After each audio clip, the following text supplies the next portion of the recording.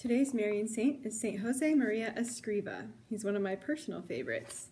He was born in Barbastro, Spain in 1902, and he became known to be the founder of Opus Dei.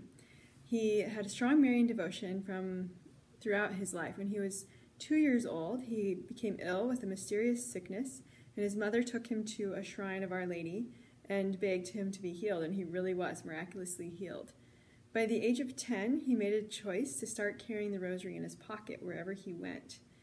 Uh, he grew up, became a priest, and um, got to go on many different pilgrimages. He went to Fatima no less than nine times. He also made a pilgrimage to the Our Lady of Guadalupe shrine in Mexico City, where he made a novena there to Our Lady. He um, also um, encourage people to pray the rosary meditatively and not to rush through it.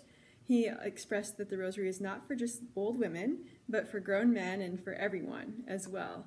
And it's a great way to grow in virtue and childlike trust in God.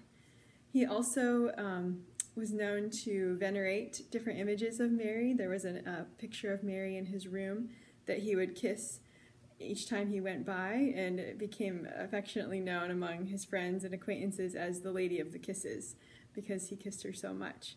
Um, he also once venerated an image of Juan Diego giving some roses to Our Lady of Guadalupe, and he said, I would love to die doing that.